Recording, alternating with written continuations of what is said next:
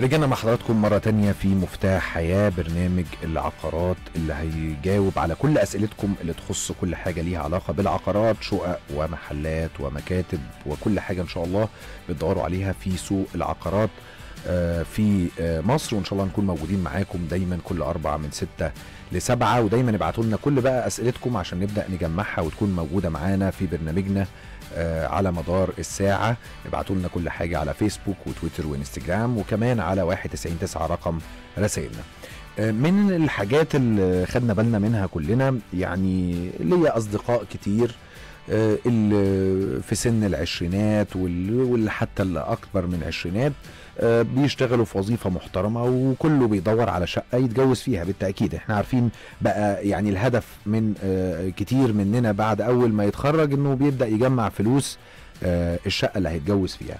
آه، كان في الأول الواحد يبقى معاه 200 ألف جنيه ويقول أنا يعني هعمل بيهم إيه؟ بيسأل نفسه كده يعني 200 ألف جنيه يعملوا بيهم إيه؟ آه، الفترة اللي فاتت الناس آه، شافت طبعا وكلنا سمعنا عن إعلانات التمويل العقاري وإنه ممكن ياخد شقة بتوصل ثمنها المليون و100 جنيه بتمويل على 30 سنة وبفايدة 3% بس. ناس كتير بدأت تدور وتعمل سيرش وتكلم البنوك واللي يروح واللي في ناس بتلخبط وناس يعني مش عارفة تعمل إيه. إحنا هنا نحاول نقدم لكم المفتاح ده إن أنتوا تعملوا إيه عشان توصلوا للشقة اللي بتحلموا بيها. خلونا آه، بيسعدنا بينضم لنا على الهاتف الدكتور هشام إبراهيم أستاذ التمويل والاست- والاستثمار بجامعة القاهرة. بنرحب بيك يا دكتور. مساء الخير. تحياتي لحضرتك والساده المستمعين أهلا وسهلا بحضرتك. يعني في البداية يعني إيه إيه رأيك يعني أنا عارف إحنا إيه الإعلام بقاله شوية بيتكلم عن الموضوع ده لكن بما إننا إن شاء الله البرنامج المتخصص في العقارات هيبقى موجود على الراديو على طول فرأي حضرتك في إيه دلوقتي؟ الشاب اللي كان بيبقى محبط وشايف بيبان الدنيا كلها مقفولة قدامه لقى مفتاح من المفاتيح اللي بتفتح له الباب ده في فكرة إن يبقى في تمويل عقاري بالنسبة القليلة بالفايدة دي للسنين الطويلة دي. خلينا نوضح في البداية ما تقوم به الدولة آه، الحقيقة في إطار آه، العقارات والتنمية العقاريه الحقيقة الدولة تتحرك في هذا القطاع بهدفين الهدف الأول هو إنه القطاع العقاري لما بينشط بينشط كل قطاعات النشاط الاقتصادي والحقيقة الدولة بذلت مجهود كبير للغاية في توفير العديد من الوحدات السكنيه خلال السنوات المعدودة الماضية ولمختلف الشرائح. الهدف الثاني هو إنه الدولة ككل رئيسها حكومتها آه، الكل بيتحرك في اطار آه، تحسن مستوى معيشة المواطن. وتلبية احتياجاته. وكان كان أمر مهم إنه آه، بعد ما تم توفير هذا القدر من الوحدات السكنية إنه يتم أيضا توفير التمويل المناسب لكافة الشرائح علشان يتم آه، تلبية آه، هذه الاحتياجات لأنه ما كانش آه، أمر هيبقى صحيح إنه الدولة تنفق هذا الكم من الأموال في بناء وحدات سكنية ويظل في النهاية عندنا معروض من الوحدات السكنية والطلب عنده مشكلة لأنه ما فيش قدرات تمويليه. فالحقيقة الدولة بتنسيق كامل أو الحكومة بتنسيق كامل مع البنك المركزي الحقيقة اتحركت في مبادرة التمويل العقاري، إحنا بنتكلم على رقم مهم، بنتكلم على 100 مليار جنيه بيتم ضخها للشباب.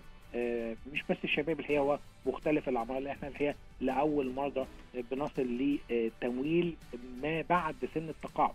يعني إحنا الحقيقة بنتكلم على مده تصل ل 75 عام وفايده مش موجودة الحقيقة حتى آه الآن هي 3% ودي الحقيقة فايدة منخفضة للغاية مش بس فايدة منخفضة لكن كمان متناقصة. وبنتكلم على تمويل 30 عام والحقيقة دي ده ال- الوعاء الأطول داخل السوق ال- آه، المصرفي داخل السوق التمويلي في مصر آه، على الإطلاق. نعم. بالتالي ده الحقيقة كلها وفرات بتقدمها الدولة ككل علشان تلبي احتياجات كافة المواطنين. إحنا الحقيقة هذه المبادرة فيها أو بتخاطب كذا شريحه. أو فئات متن- متنوعة، بنتكلم بداية من حيث الوحدات السكنية عندنا ثلاث مستويات. الوحدات السكنية اللي حدها الأقصى 350 ألف جنيه ودي هيكون المقدم بتاعها 10%. م. وعندنا الشريحة الثانية اللي آه، آه، آه، سعر الوحدة بيتراوح ما بين أو أعلى من 350 ألف لحد مليون و100 ألف ودي هيكون المقدمة 15% أو الدفعة اللي المقدمة. والشريحة الثالثة هي الوحدات السكنية اللي سعرها بيتراوح ما بين أو أعلى من مليون و100 ألف لحد مليون و400 ألف ودي هيكون المقدم 20% م. أيضا ما يتعلق بقى بعيدا عن سعر الوحدة السكنية ما يتعلق بمستويات الدخول. إحنا م. عندنا مستويين. مستوى حد والأقصى لدخل الفرد 4500 جنيه وللأسرة ككل 6000 وعندنا المستوى التاني اللي هو اللي حده الاقصى على مستوى الفرد 10000 وحد الأسرة ككل 14000 وبالتالي الحقيقة هذه المبادره بتخاطب أكثر طب, من طب معلش يا. دكتور هل في برضه حد يعني إحنا قلنا دلوقتي فكرة ال- الفئات اللي, اللي هي ثمن الشقة والفئات اللي هي حد الدخل هل في سن آه، لا الحقيقة السن مفتوح مم. ومش بس السن هو اللي مفتوح لكن كمان الوظيفة. والأول مره إنه الوظائف آه، المهن هو أنا بس عشان لو حضرتك تصحح لي لأن أنا كنت قريت حاجة إنه آه على الأقل بعد ال 30 سنة ما يبقاش عدى 60 سنة يعني مثلا يكون آه، ما يتعداش سنه 30 ولا أنا ولا لأ لا مش ما. هو لو. سنه 60 لن يتعدى سنه آه، لا لا- لن يت- لن يتعدى. مدة التمويل 15 عام.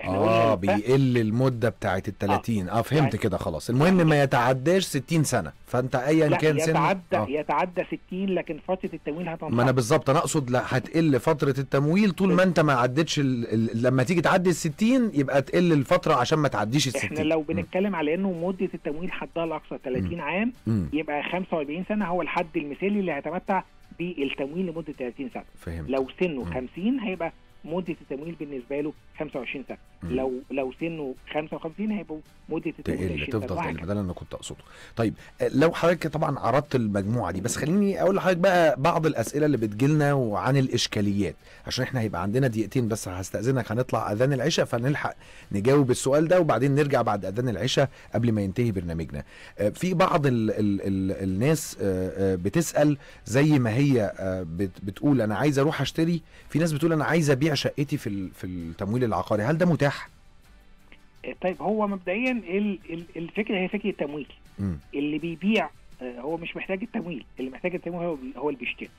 وبالتالي اللي بيبيع آه، مؤكد هيكون في حد طالب. فلو لقى هذا طالب الوحدة السكنية فطالب الوحدة السكنية هو اللي هيتقدم للبنك أو جهة التمويل علشان يحصل على التمويل. طيب دي من الأسئلة. سؤال تاني يا دكتور.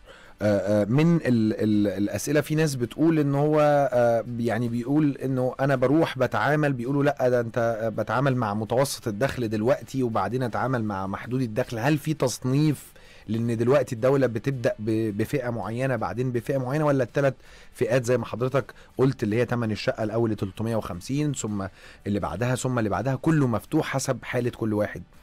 لا الكل مفتوح مم. يعني حتى الآن آه، جهات التمويل كلها الحقيقة بتتحرك على الثلاث أنواع أو الثلاث شرائح وامر منطقي إنه البنك المركزي لما حدد هذه الشروط هذه الضوابط إنه حددها بهدف آه، الوفاء بيها أو بهدف تلبيتها أو. تلبية الاحتياجات أو تلبية الطلب وبالتالي مش هيحط آه، بعد ما وضع هذه الضوابط هذه الشروط مش هيحط قيود علشان يمنع أو يحجب هذا التمويل. طيب ال- السؤال برضو اللي هو يعني يمكن ده هيبقى الأخير قبل ما نروح لأذان العشاء ونرجع تاني نجاوب على بعض الأسئلة سريعا. آه، آه، ده البنوك ال- ال- الخاصة بالدولة فقط ولا آه، في بنوك تانية واخدة إنها تقدر؟ البنوك كافة البنوك كافة البنوك مدعوة للمشاركة في هذا هذه المبادرة وأيضا شركات التمويل العقاري. تمام. طيب إحنا إن شاء الله بعد أذان العشاء يعني هستأذنك هن- هنخرج لاذان العشاء. هيبقى عندنا آه، يعني بعض التساؤلات برضو آه، المهمة. آه، يمكن بس عشان هقول للناس عشان تفضل موجودة معانا ونشد الناس تفضل موجودة معانا. عشان في حد قال أنا مش قادر أدفع المقدم مثلا آه، إن هو 15 أو 20% فهل في حل لده؟ إن شاء الله لو حضرتك هيبقى عندنا إجابة لده. وفي ناس برضو بتسأل على آه، أنا بتلخبط كل شوية بسمع الراديو بقفل من هنا برجع أتلخبط. فين المكان اللي أقدر اروحه يقعد يشرح لي آه، واحدة واحدة أو أفتح ال website الفلاني اللي هيقول لي الحاجات دي؟ فمعلش يا دكتور يعني ثلاث دقايق أو دقيقتين هيخلص أذان العشاء ونرجع نقفل الحلقة مع حضرتك بالأسئلة دي. أهلا بحضراتكم من جديد في مفتاح حياة وبندور على مفتاح التمويل العقاري وبيرجع معانا على الهاتف الدكتور هشام إبراهيم أستاذ التمويل والاستثمار بجامعة القاهرة. بنرحب بحضرتك مرة ثانية يا دكتور. تحية مرة ثانية والسلام سامعين. شكرا لحضرتك. كنا بنسأل قبل الفاصل آه، على اللي مش معاه المقدم بتاع التمويل العقاري ال 15 أو ال 20% هل ده ليه حل ولا مش هيقدر ياخد التمويل؟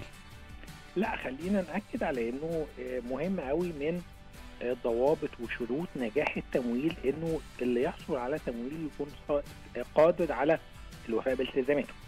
وبالتالي لو لو تركنا المسألة بدون مقدم فقد لا يكون هو غير قادر على الوفاء بالتزامات هذا التمويل. ده من شق الشق الثاني إنه في هذه الحالة هو بيحجب هذا التمويل عن آخرين. وبالتالي مهم جدا إنه يكون في قدر ودي اتصور إنها نسبة ضعيفة إحنا لو بنتكلم على آه، آه، الفئات الأقل إحنا بنتكلم على 10% مم. ف 10% من وحدة سكنية اللي هي 350 ألف حد أقصى إحنا بنتكلم على 35 ألف جنيه آه، لو هي ثمنها 300 ألف يعني بنتكلم على 30 ألف جنيه.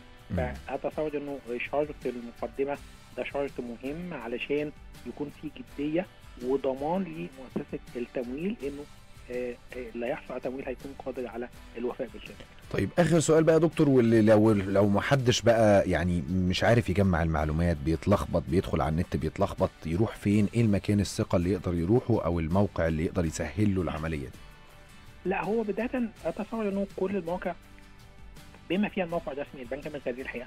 وضح الضوابط والشروط كافة ولو هو بيرغب بقى في آه، آه، إنه يقطع خطوات جادة في الحصول على التمويل هتوجه لجهه التمويل مباشرة.